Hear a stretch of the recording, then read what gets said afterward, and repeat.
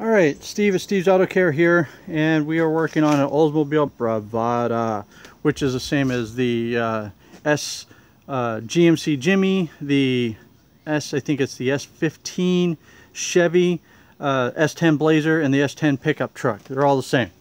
Uh, we're doing a tune-up here, and I wanted to show you my little trick of getting the, the center spark plug out on the uh, driver's side. And the way I do it is I disconnect the steering shaft from the steering box, which is way down in here underneath this black cover. and mark it so that it goes on straight. And since I am the only one here, I know that no one's going to be touching that steering wheel. So if you have other people around, you need to lock that steering wheel down. Otherwise, you run into airbag problems when you break the clock spring turning the steering wheel. So anyway, so um, I always get the spark plugs and plug wires off from the fender well. And let me show you.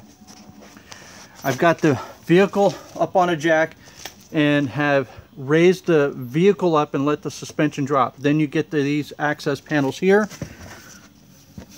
like so. Now, see if I can get the camera in there with my light. Uh, if you look very carefully, you can see the number two or the center spark plug. The steering shaft goes right in that way.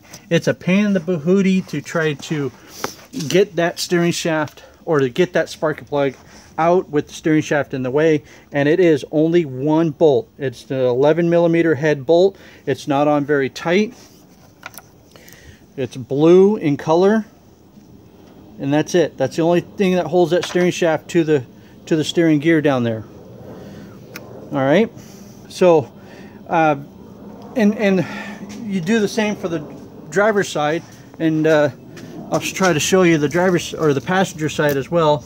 We flip up this little flap get my light up in there and there's the the number three spark plug there.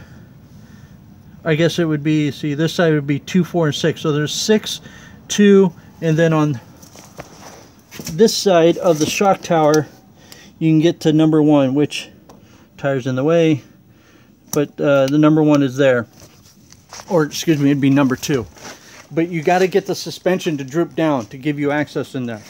So, there we are. It's a 4.3 liter Vortec V6. And yes, I also removed the air cleaner housing. Again, it's very simple to do. Um, you don't even have to undo the, the hoses to the mass air. Take the whole unit out as one piece, the four screws, and then the one wing nut for the uh, cap, and the whole thing comes off. And here, the box itself has this piece. And it's it's it slides into a slot. So you don't have nothing to unbolt here.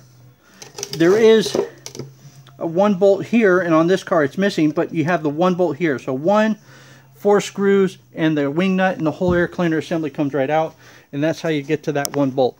Very simple to cut down your frustration, cut down your stress, and everybody's happy.